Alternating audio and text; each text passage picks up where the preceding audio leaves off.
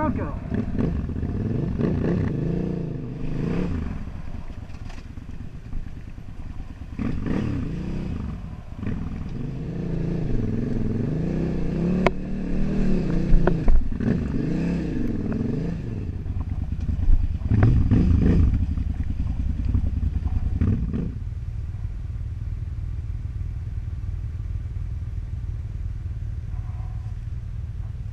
All right. What's going on, guys? I'm Kyle Bradshaw, and welcome to Motoz Monday, episode number eight. Today, we're talking about the Motoz Mountain Hybrid. Now, this tire, when it was released, was an anomaly. And I was working for a company at the time, and we ordered a couple hundred of these tires, and they disappeared super fast.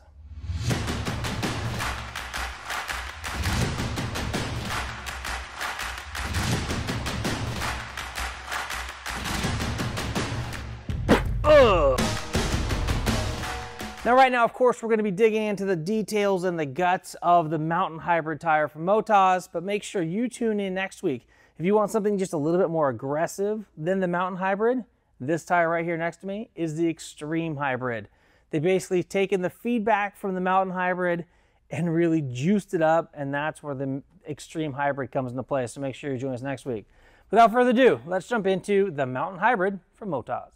So this tire is really interesting. When it first came out, I was really stoked to run it. I was running the KTM 450 EXC at the time. I was running all of the mountains up in the Sierra Nevadas. There's lots of granite, there's loamy terrain. There's a lot of mixture when it comes to the types of things that you encounter on a daily basis up there in the Sierra Nevadas. When you look at a traditional trials tire, you have much smaller blocks than you find here on the Mountain Hybrid.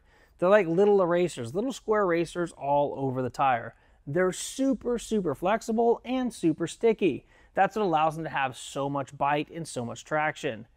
Now, Motoz wanted to be able to have a tire that had great bite and great traction, but they also wanted to be able to have longevity, and that's where this mountain hybrid comes into play. What they've done here is they've taken trials technology as far as the block goes, as far as the block itself being able to be super squishy and super malleable. They also took the carcass and were like, okay, well, we need something that's going to be robust enough to be able to handle off-road terrain. We need a carcass that's going to be robust enough to be able to let us cruise down the highway. Now, this tire is coined as a 75% dirt, 25% street tire. I mean, you could run this thing down the highway. Now, I personally have done that, and I did it on a bike that this tire was not intended or meant to be mounted on.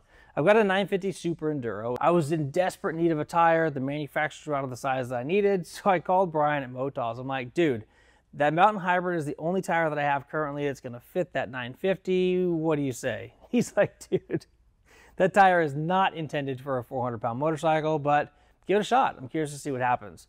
So I rode on the street 90 miles an hour from Livermore, California, all the way down to China Peak. We're talking about two and a half, three hours on the road. Now, when I got there, I was surprised. The knob still looked relatively new. Um, the tire did a phenomenal job on the highway. And then the next day is really where the performance of this tire came into play. I was running with two other guys on adventure motorcycles. They were on TKC 80s, and this here is the difference between the Mountain Hybrid and a TKC 80. Go, go, go. Okay. It's striking. Both the F800GS and the 1200GS struggled Uh, on that do that. TKC 80. And the 950, all I had to do was let the clutch out, and this tire did all of the work.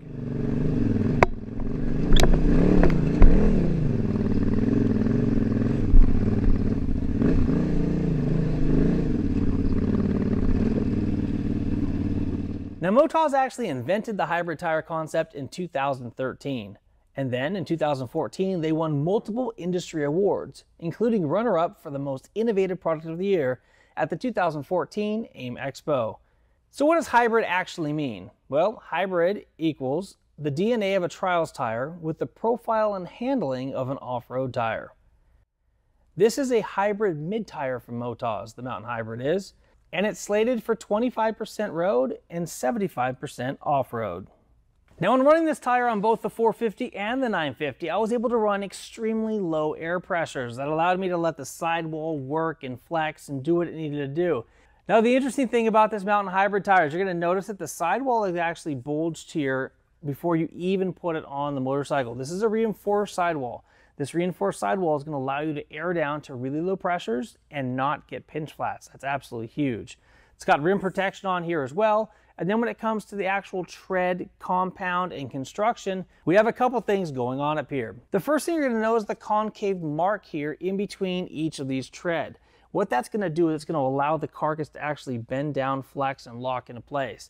That's going to give you extreme traction when you're out there on the trail. The other thing you're going to notice is the compound of this tire is a little bit more sturdy than that of a traditional trials tire. All right, let's grab a quick durometer reading on this guy here. Looking at the durometer reader here, we're looking at right at 65 on that reading. And then here for the front tire, let's see what we pull up over here. It's a little bit, little bit harder, right at 70. All right, now looking at tread depths here on the rear tire, we're looking at uh, 20, 30 seconds or right about 16 millimeters. And over here on the front tire, we'll give it a good reading here. Here we're gonna have 12 millimeters and about 14, 30 seconds. Now the compound and tread block structure are what allows this tire to work so well on and off road.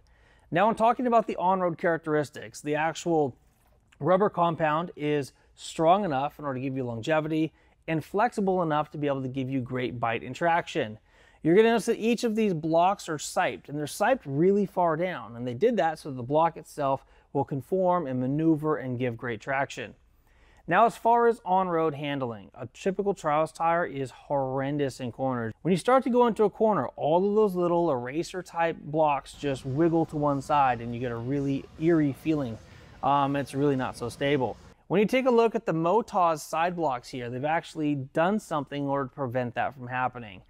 Every third block and fourth block are actually tied to the block that's on the inside here. That's going to allow these three blocks to act as one large block. So you have two flexible blocks that are independent and move on their own, and then you get to this block here, where the very top of the blocks function as individual blocks, but they're stable down at the base because all three of them are tied together. This is a huge benefit when using this tire to rail mountain roads. Now let's talk a little bit about front tires. The two most popular front tires that are used with the Mountain Hybrid are going to be the Enduro ST tire that we talked about two weeks ago, and then this guy right here. This is the Mountain Hybrid front tire. Now this Mountain Hybrid front tire is unlike any of the other tires in the Motoz lineup. You're gonna see that this has some street characteristic to it, it's got some dirt characteristic to it, and it even has a little bit of trials tire characteristic to it. There's a lot of interesting things going on here. They did the same sipe down the center, um, the concave bite there that allows this tire to be able to flex and to roll over things. You're gonna notice that the blocks are smaller than that of an adventure tire, and about the same size as a lot of motocross or DOT tires. Now the Mountain Hybrid has three lugs for each of these center contact patches. Now the other thing you're gonna notice is there are some blocks that are really close together and some blocks that are spaced further apart. That's gonna give this tire its hybrid nature. It's gonna clean out mud well and it's gonna stick to rocks extremely well as well. Again, a hybrid tire meant for doing just about anything, and that's what Motoz made these tires for.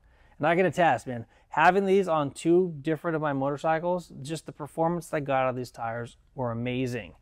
Now, since then, Motoz has developed the line, and there are two more hybrid tires out there. There is the Extreme Hybrid, which is here to my left, your right, and then there is the Arena Hybrid. Now, I personally have yet to try those two tires, but after having run the Mountain Hybrid and knowing how well it worked in all those different types of situations, I'm really excited to get a smaller bike, get these tires mounted up, to get them out there in the desert test them. Now this Mountain Hybrid is the perfect tire for those of you looking to conquer lots of different terrains and looking for the most traction possible in each of those scenarios. Now, if you want even more traction, but you don't need as much on-road characteristics or capabilities, that is this guy right here. This is the Extreme Hybrid. Anyway, I'm Kyle Bradshaw from Moto City. Thank you guys for tuning in and watching today. I hope you learned something about the Mountain Hybrid from Motoz. It really was a game changer when it was announced and released back in 2013 and 14. There are lots of other hybrid tires out there on the market right now, but Motoz was the leader, they were the innovator, and I think that if you compare this to some of the others that are out there, you're going to see that this guy is still at the top of the charts. Now, please remember that you can purchase any of these tires from MotoCityParts.com. We have a specific Motoz page on the website, so you can take a look at all of these different tires, compare specs and things of that nature. So please visit MotoCityParts.com for any of your Motoz tire needs. I'm Carl Bradshaw. Thank you guys again for watching. Until next time, take care and ride safe out there.